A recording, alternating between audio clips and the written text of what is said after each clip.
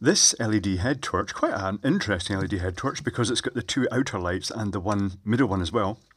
Uh, it was sent in to me by a chap called Jamie, and he'd bought it from an online supplier. And when he put the lithium cells in, he was rewarded with um, heat and uh, glowing electrical contacts. Now, I have to say, initially when I saw the, when I when I heard about it, I thought had the cells been put in, you know, one in one direction, one the other. But if you think of it, that would surely have had that effect in this one as well. So I wonder if there's an internal short circuit in here that's caused that. Uh, the other possibility for high current flow between the cells is if one of the cells is really freshly charged and one is like absolutely flat and you can get the you know because the voltage differential is the best part well it's a volt basically you can get quite high current flow but um, I'm not sure if that's what's uh, again I would have expected if it was going to make this one glow hot and you know deform, then th- this one would also have copped it. So it's an odd one. Uh, let's uh, open it up and take a look inside. Deep down, I'm hoping the inside found at least a wire with all the insulation melted off it and looking pretty sort of unpleasant.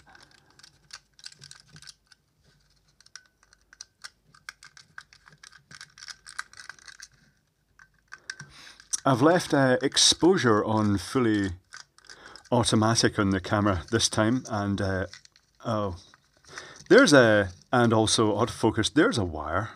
There's a wire that's been nipped, and also uh, it's off. All right, it's supposed to be onto here.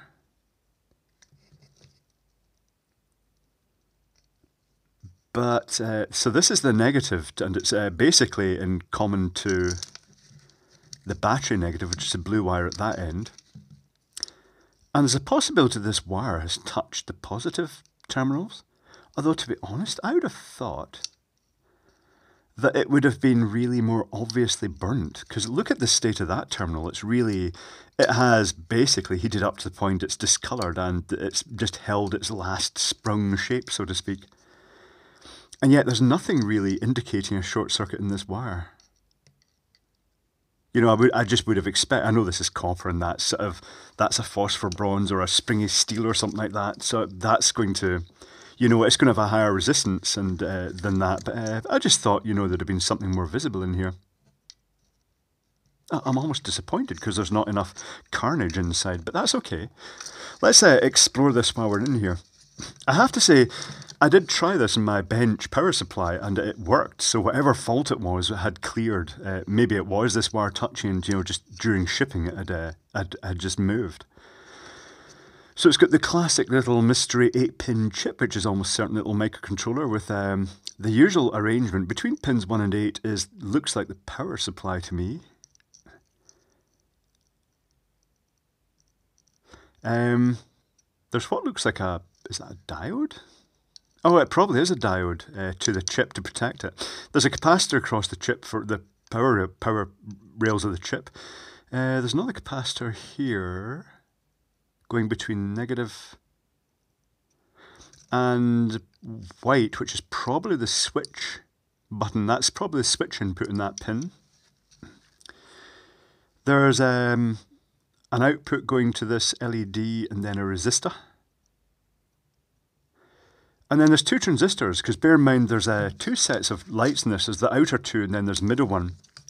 So there's two transistors being driven from this uh, chip here via, I'm guessing, they might be little FETs, I'm not sure.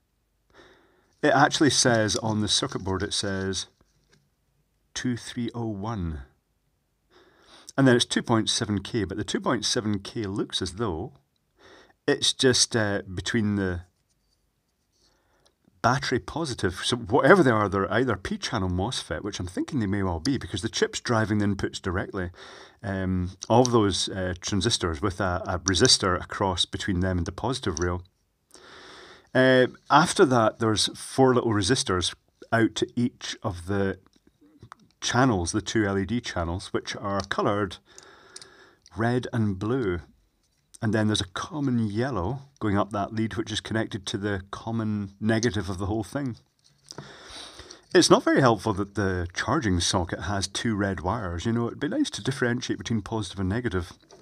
Anyway, Let's take a look at the other end while we've got this here and while we're taking it to bits.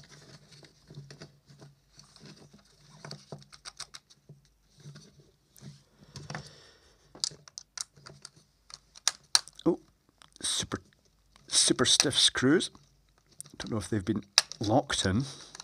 Probably not the quite the right type of screwdriver for this, but not to worry. I've started, so I'll finish. I also selected high dynamic range on the the it's the Moto Moto G I'm using at the moment to film with, and uh, I'm not sure if that does much.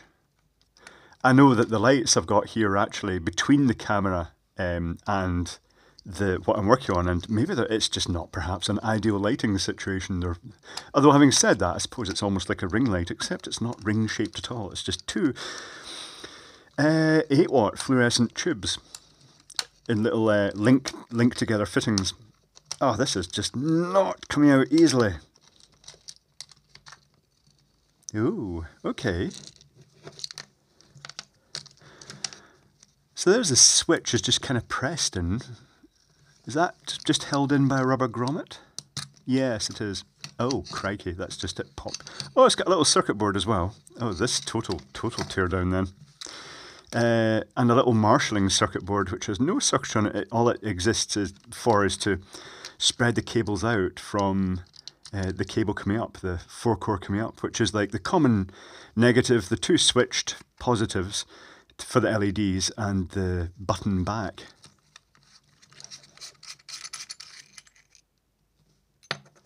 Glass, that's nice. Glass, oh no, that's that's heavy actually.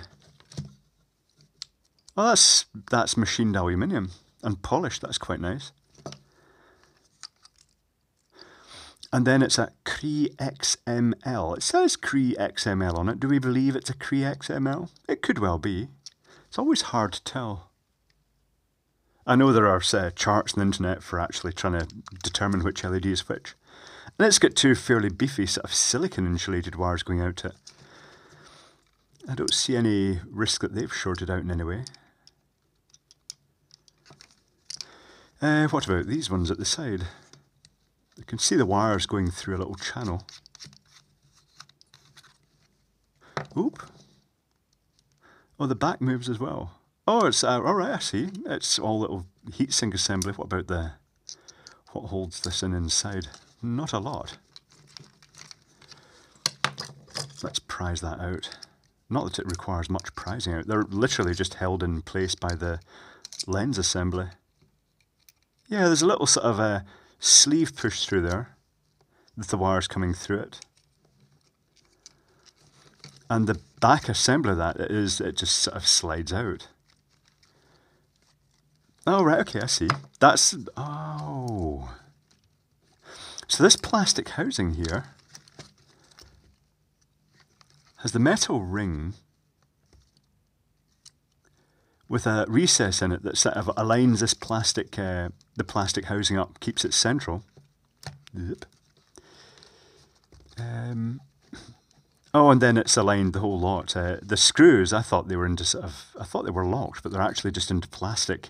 Um, so that's what uh, holds everything sort of in alignment. And then these aluminium things, just to presumably provide that extra heat coupling, uh, just insert from the outside and then are held in by the front lens assembly, which is quite a. It's basically just one of the little uh, LED reflectors. Same for the other one, I guess. Yep. Same arrangement. They're just probably connected in parallel. Yes, they are just both connected in parallel. That's interesting. Not the carnage I'd hoped, so I kind of like perplexed by how so much damage could have been done to that spring. Um, but there's no, you know, the the one wire that's floating about loose inside is, is not really showing signs that it's passed a huge amount of current. Because this isn't silicon, it's kind of a plastic cable. And normally, if it's, even though it is copper versus the metal the other ones are, I would have expected that sort of, you know, damage. It's very odd. I'm not sure what's happened there. But um, interesting to see what's inside anyway.